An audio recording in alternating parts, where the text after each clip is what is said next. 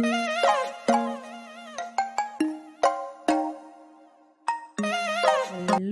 Friends friends आज की recipe एकदम यूनिक है और साथ ही में भरपूर वेजिटेबल के साथ भी है, जो बच्चे और बड़े दोनों को ही टेस्टफुल लगेगी। बाहर से क्रिस्पी अंदर से एकदम सॉफ्ट सॉफ्ट ऐसा गुजरात स्पेशल हांडवा, जो हम आज बनाएँगे सूजी से। फ्रेंड्स, अगर ये रेसिपी आपको अच्छी लगे तो प्लीज़ हमारे चैनल को लाइक कीजिए शेयर कीजिए एंड सब्सक्राइब करिए। तो चलो, भरपूर वेजिटेबल के साथ हांडवा बनाना स्टार्ट करते हैं। ले स्टार्ट यहाँ पे हमने सबसे पहले सूजी को और दही को ऐसे रात भर भिगो के रख दिया था। फ्रेंड्स, यहाँ पे आप समय कम हो तो आप इसको दो तीन घंटे के लिए भी भिगो के रख सकते हैं। फ्रेंड्स यहाँ पे दही खट्टा होना चाहिए। आज हम भरपूर वेजिटेबल के साथ बना रहे हैं तो सबसे पहले हम मीडियम साइज़ का ऐसा ग्रेटर हो, उसके साथ ही हम ऐसे ग्रेट करेंगे। सबसे पहले हमने गाजर को ऐसे ग्रेट कर लिया है, अब हम लौकी को भी ऐसे ग्रेट कर लेंगे। फ्रेंड्स बीच का पार्ट हो लौकी का, वो हम ग्रेट नहीं करेंगे, उसको हम रिमूव कर लेंगे। अब हम डालेंगे हरे मटर वेजिटेबल की क्वांटिटी आपके अनुसार कम या ज़्यादा कर सकते हैं। यहाँ पे हमने हरे मटर, लौकी और गाजर को ऐसे ले लिया है। यहाँ पे हमने एक मिक्सिंग बाउल ले लिया है, जिसमें हमने सूजी को ऐड कर दिया है।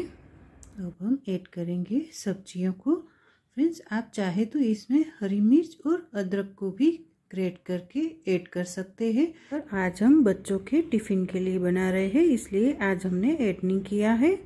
अब हम डालेंगे खूब सारा हरा धनिया। यहाँ पे हमने फ्रोज़न कॉर्न ले लिया है। फ्रेंड्स आपके पास फ्रेश कॉर्न हो तो वो भी ऐड कर सकते हैं। अब डालेंगे स्वाद अनुसार नमक। हाफ़ स्पून डालेंगे हल्दी पाउडर। हाफ़ स्पून से थोड़ा कम डालेंगे हींग। अगर आपके भी बच्चे वेजिटेबल खाना अवॉइड करते हैं तो फ्रेंड्स इस प्रकार से आप एक बार इसको खिला के देखिए। बहुत ही टेस्टफुल तो लगता ही है। साथ ही में हेल्दी भी उतना ही हो जाता है। अब हम सारी सामग्रियों को ऐसे मिला लेंगे। फ्रेंड्स इसमें हमें अलग से पानी ऐड करना नहीं है। ये हमारे लौकी और वेजिटेबल जो हमने डाले हैं, उसका ही पानी निकलेगा तो ये हमारा बेटर बराबर मात्रा में हो जाएगा। यहाँ पे आप देख सकते हैं हमारा बेटर का कंसिस्टेंसी कैसा है। ना ही बहुत गाढ़ा, ना ही बहुत पतला, बिल्कुल इसी प्रकार का होना चाहिए।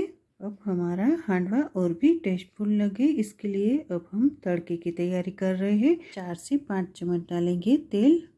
अब हम ऐड करेंगे राई के दाने। जीरा, जैसे ही राई और जीरा क्रैकल हो जाए तो अब हम गैस को ऑफ़ कर देंगे और अब हमने डाला है तिल, सफ़ेद तिल है फ्रेंड्स। यहाँ पे हाफ़ स्पून डालेंगे हींग और कड़ी पत्ता। तुरंत ही हम ऐड कर देंगे ये घोल के अंदर। फ्रेंड्स, इस प्रकार से अलग से तड़का लगाएँगे तो ये अंदर से एक जब भी ठंडा भी हो जाएगा तो मॉइस्चर उसका बना रहेगा और ड्राई ड्राई हमें नहीं लगेगा क्योंकि आज हम बना रहे हैं सूजी का हांडवा। इसलिए फ्रेंड्स, ये प्रकार से करेंगे तो बहुत ही टेस्टफुल तो लगता ही है, साथ ही में ड्राई भी नहीं लगेगा। फ्रेंड्स, यहाँ पे हमने जो पहले सूजी भिगोई थी, वही भगोना हमने ले लिया है। अब हम इसमें डालेंगे दो चम्मच भर के ये मिक्सचर क्योंकि अभी हमें इसमें ऐड करना है कुकिंग सोडा इसलिए जैसे जैसे हम बनाते जाएँगे, वैसे ही हम बेटर में डालते जाएँगे कुकिंग सोडा एक साथ बिल्कुल भी हम ऐड नहीं करेंगे कुकिंग सोडा को। यहाँ पे हमने दो पिंच ऐसे कुकिंग सोडा ले ली है। अब हम ऊपर से डालेंगे लेमन का जूस। एक ही डायरेक्शन में अब हम मिक्सचर को मिक्स कर लेंगे।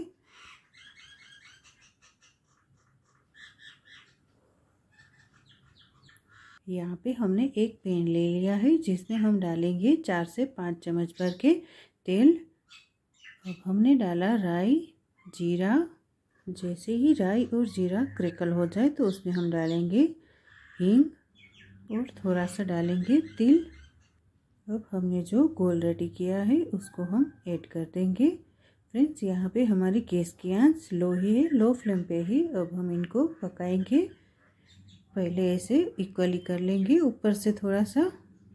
अब ढककर करीबन दस मिनट के लिए लो फ्लेम पे ही पकाएँगे। यहाँ पे पकाते हुए हमें करीबन दस मिनट हो गई है। आप देख सकते हैं, ऊपर से थोड़ा सा ड्राई भी हो गया है, बिल्कुल इसी प्रकार का होना चाहिए। अब हम बिल्कुल सावधानी से ऐसे पलटा लेंगे और लो फ्लेम पे फिर से हम ढककर करीबन पाँच मिनट के लिए पका लेंगे। आफ्टर पाँच मिनट के बाद तो फ्रेंड्स, ऐसे पता नहीं चलता तो आप ऐसे नाइफ डाल के देख भी सकते हैं। पूरा क्लीन निकलता है मतलब कि ये हांडवा रेडी है। भरपूर वेजिटेबल के साथ बाहर से क्रिस्पी और अंदर से सॉफ्ट सॉफ्ट ऐसा हांडवा रेडी है। जिसको हमने लिया है हरी चटनी और टमाटो केचप के साथ। Thank you for watching